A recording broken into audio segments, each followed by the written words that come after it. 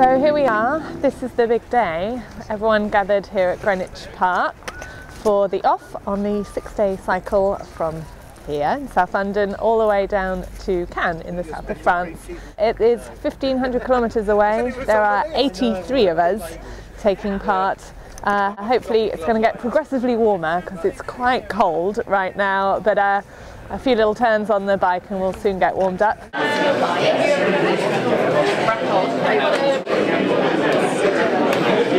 First time I'm doing this. Excellent. How are you feeling about it? Very nervous. Bus Butterflies hit in as I was driving in. Um, yeah, petrified. we can expect 60 miles in two legs. Last year it was three, this year it's two, uh, with a nice lunch break in the middle.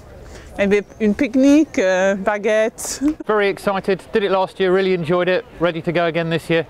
And the outfit attracted a lot of attention last year. Yeah, for some reason I earned the nickname Flambeau. Can't think what's so distinctive about this kit.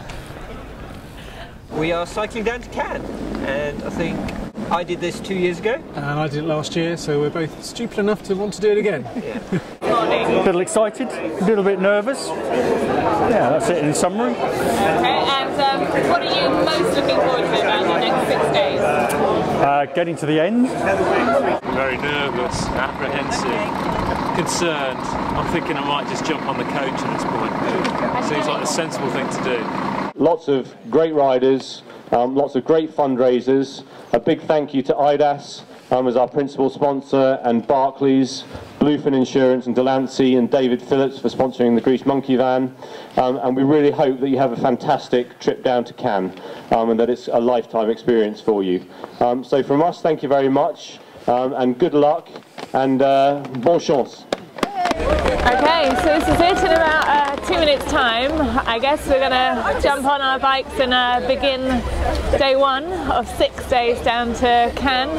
Uh, hopefully uh, getting progressively warmer, but for now, cheerio and we'll see you tonight with a video, a bedroom diary and along the way and then hopefully with a beer in uh, on Tuesday in six days time.